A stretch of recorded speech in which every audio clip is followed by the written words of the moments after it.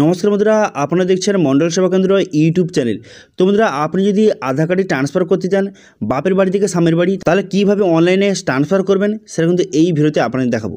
আজকের ভিডিওতে আপনাদের দেখাবো যে, আপনি আধার কার্ডে ট্রান্সফার করতে গেলে আপনার কী কী ডকুমেন্টস লাগবে, কীভাবে ট্রান্সফার করবেন ট্রান্সফার করতে কত খরচ হবে, এবং কতদিনের মধ্যে আপনার আধার কার্ডটি ট্রান্সফার হয়ে যাবে, সমস্ত বিষয়ে বিস্তারিত আলোচনা করব। সেই জন্য ভিডিওটা প্রথম থেকে শেষ পর্যন্ত অবশ্যই দেখবেন মন সহকারে, এবং আমাদের চ্যানেলে প্রথমবার ভিড় করে থাকলে আমাদের চ্যানেলটিকে সাবস্ক্রাইব করে রাখুন এবং পাশে থাকা বেলনটিকে অন করে রাখুন, কারণ আমরা এরকম রিলেটেড নিত্য ভিডিও নিয়ে আসি। তো চলুন আজকে ভিডিওটা শুরু করা যাক। তো সবার প্রথম বলব যে আধার কার্ড ট্রান্সফার করতে আপনার কিন্তু ডকুমেন্টস লাগবে তো কী কী ডকুমেন্টস লাগবে? তো আধার কার্ড ট্রান্সফার করতে হলে নাম এবং অ্যাড্রেস কিন্তু ট্রান্সফার করতে হয়। তো সেই জন্য কিন্তু নেম প্রুফ হিসেবে আপনি কিন্তু ম্যারেজ সার্টিফিকেট দিতে পারেন এবং অ্যাড্রেস প্রুফ হিসেবে কিন্তু আপনি ম্যারেজ সার্টিফিকেটও দিতে পারেন।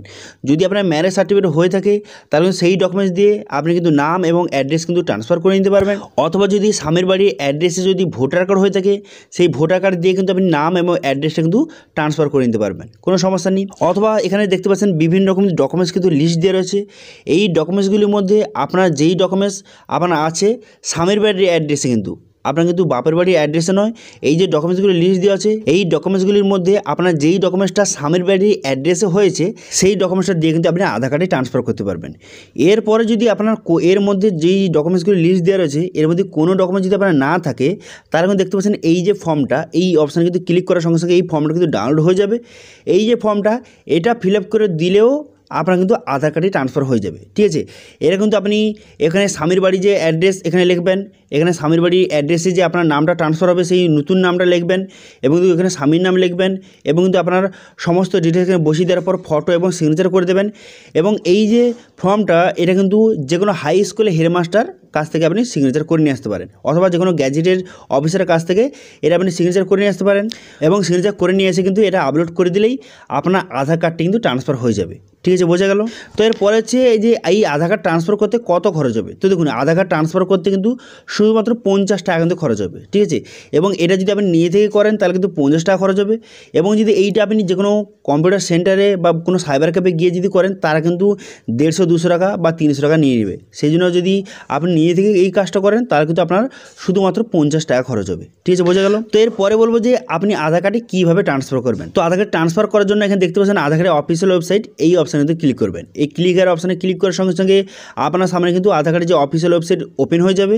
প্রথমে অফিসিয়াল ওয়েব চলে আসবেন এর লিঙ্ক কিন্তু ভিডিও ডেসক্রিপশানে দিয়ে দেবো, সেখান থেকে ডাইরেক্ট চলে আসবেন। এখানে চলে আসার পর এখানে লগ ইন অপশানে ক্লিক করবেন। ক্লিক করার পর এখানে আপনার আধার কার্ড নাম্বারকে সঠিকভাবে বসিয়ে দেবেন। বসিয়ে দেওয়ার পর ক্যাপচারা ফিল করে দেওয়ার পর সেন ওটি বাটনে ক্লিক করবেন। সেন ওটি বাটনে ক্লিক করলে আপনার আধার কার্ডের সঙ্গে যে মোবাইল নাম্বার যোগ আছে, সেই মোবাইলে একটা ওটিপি যাবে। সেই ওটিপিটা এখানে বসিয়ে লগ ইন বাটনে কিন্তু ক্লিক করবেন। ঠিক আছে? লগ ইন বাটনে ক্লিক করার সঙ্গে সঙ্গে আপনার সামনে কিন্তু ড্যাশবোর্ডটি ওপেন হয়ে গেল। এরপর কিন্তু এখানে আধার কার্ডে বিভিন্ন রকম সার্ভিস কিন্তু শো হয়ে যাবে এবং কিন্তু এখানে আপনার আধার কার্ডটি কিন্তু সামনে পাশ এবং পিছনে পাশ কিন্তু দেখতে পারবেন। এরপর এখানে আধার কার্ড যে বিভিন্ন রকম সার্ভিস দেওয়া রয়েছে, এখান থেকে আপনি এই আধার কার্ড ডাউনলোড করতে পারবেন অর্ডার পিভিসি কার্ড করতে পারবেন এবং কিন্তু আপডেট আধার করতে পারবেন। আপনি যেহেতু ট্রান্সফার করতে চান, সেই জন্য কিন্তু এই অপশানে কিন্তু ক্লিক করবেন। ঠিক আছে? আপনি ট্রান্সফার করতে চাইলে এই আপডেট আধার অনলাইন এই অপশানে ক্লিক করবেন। করার পর পসিট টু আপডেট আধার এই অপশানে ক্লিক করবেন। এরপর যেহেতু আপনি ট্রান্সফার করতে চান, সেই দিন কিন্তু আপনাকে নাম এবং অ্যাড্রেস কিন্তু সংশোধন করতে হবে, ঠিক আছে? ট্রান্সফার করতে চাইলে এই দুটো ঠিক চিহ্ন মারবেন। এছাড়াও যদি আপনার কোনো ডেট অফ বার্থ যদি একই সঙ্গে আপনি সংশোধন করতে চান, তাহলে ডেট অফ সিলেক্ট করবেন, নাহলে কিন্তু এই দুটো প্রথম সিলেক্ট করে নেওয়ার পর পসিট টু আপডেট আধার এই অপশন কিন্তু ক্লিক করে দেবেন, ঠিক আছে? এই দুটো অপশান ঠিক চিহ্ন মেরে পসিট টু আপডেট আধার অপশানে ক্লিক করে দেওয়ার সঙ্গে সঙ্গে আপনার সামনে কিন্তু নতুন একটি পেজ ওপেন হয়ে যাবে। এরপর কিন্তু বর্তমানে আপনার কোন নামটা, সেই নামটা কিন্তু শো হয়ে গেছে। আপনার বর্তমানে আধার কার্ডে যেই নামটা, সেই নামটা শো হয়ে গেছে। এরপর কিন্তু আপনার যে কোন নামটা হবে, যে আপনি স্বামীর বাড়ি আসার পর আপনার কোন নামটা হবে, সেই নতুন নামটা এখানে বসিয়ে দেবেন, ঠিক আছে? আপনার কোন নামটা আপনি করতে চান আধার কার্ডে সেই নতুন নামটা এখানে বসিয়ে দেবেন। ঠিক আছে? সেই নতুন নামটাকে বসিয়ে দেওয়ার পর তারপরে আপলোড ডকুমেন্টস এখানে কিন্তু বিভিন্ন রকম ডকুমেন্টস কিন্তু এখানে রয়েছে। এখান থেকে আপনি দিতে পারেন হচ্ছে ব্যাঙ্ক পাসবুক দিতে পারেন ম্যারেজ সার্টিফিকেট দিতে পারেন ড্রাইভিং লাইসেন্স এবার সার্টিফিকেট ইনস্টিটিউট এইটা দিতে পারেন। এছাড়া কিন্তু এখানে বিভিন্ন রকম সার্টিফিকেট ডিটেলস দেওয়া রয়েছে। দেখতে পাচ্ছেন এখানে, এর মধ্যে আপনি কিন্তু ভোটার কার্ড দিতে পারেন। এখানে বিভিন্ন সার্টিফিকেট দিয়ে রয়েছে। এর মধ্যে যেই ডকুমেন্টসটা আপনার আছে, সেই ডকুমেন্টসটা এখান থেকে আপনি সিলেক্ট করবেন। এই সেই ডকুমেন্টসটা এখান থেকে আপনি কিন্তু আপলোড করে দেবেন। এরপর যদি এই ডকুমেন্টসগুলোর মধ্যে আপনার কোনো ডকুমেন্টস যদি না না থাকে, তাহলে আপনি কী করবেন? তাহলে কিন্তু এই যে ফর্মটা, এই ফর্মটার লিঙ্ক কিন্তু ভিডিও ডেসক্রিপশানে দিয়ে দেবো। সেখান থেকে এই ফর্মটা ডাউনলোড করে এই ফর্মটা কিন্তু আপনি ফিল করবেন, ঠিক আছে? আপনি আধার কার্ডে যেই নামটা করতে চান, সেই নাম লিখবেন, এখানে কেয়ার অফ আপনার স্বামীর নাম লিখবেন এবং কিন্তু আপনার যেই অ্যাড্রেসে আপনি আধার কার্ড করতে চান, সেই অ্যাড্রেসটা লিখবেন সব কিছু নতুন যেই যেই করতে চান, সেই ডিটেলসটা এখানে ফিল করবেন এবং ফটো এবং সিগনেচার মারানোর পর যে কোনো হাই স্কুল হেডমাস্টার কাছ থেকে আপনার কিন্তু এখানে অ্যাড্রেসে করে নিয়ে আসতে হবে, ঠিক আছে? করে নিয়ে এসে এটা আপলোড করে দেবেন, সব ডকুমেন্টস কিন্তু দুই এমবির মধ্যে পিডিএফ ফরম্যাটে হওয়া চাই ঠিক আছে? পিডিএফ ফরম্যাটে দুই এমবির মধ্যে আপনি ডকুমেন্টসটা আপলোড করে দেওয়ার পর, তারপর কী করবেন? নেক্সট বাটনে কিন্তু ক্লিক করবেন। নেক্সট বাটনে ক্লিক করে দেওয়ার পর এরপর কিন্তু অ্যাড্রেস আপনাকে ফিল করতে হবে। আপনি যে নতুন এখানে অ্যাড্রেস হবে, স্বামীর অ্যাড্রেসে আপনি যাবেন, সেই স্বামীর অ্যাড্রেস কিন্তু এখানে বসানোর জন্য প্রথমে এখানে স্বামীর নামটা বসিয়ে দেবেন কেয়ার অফ এখানে কিন্তু আপনার স্বামীর নাম বসিয়ে দেবেন। এখানে আপনার স্বামীর নাম বসিয়ে দেওয়ার পর, তারপরে আপনি কী করবেন? তারপর কিন্তু নিচে গিয়ে যাবেন। এখানে স্বামীর নামটা বাংলা এবং ইংলিশে সঠিকভাবে বসিয়ে দেওয়ার পর, তারপরে আপনি কী করবেন?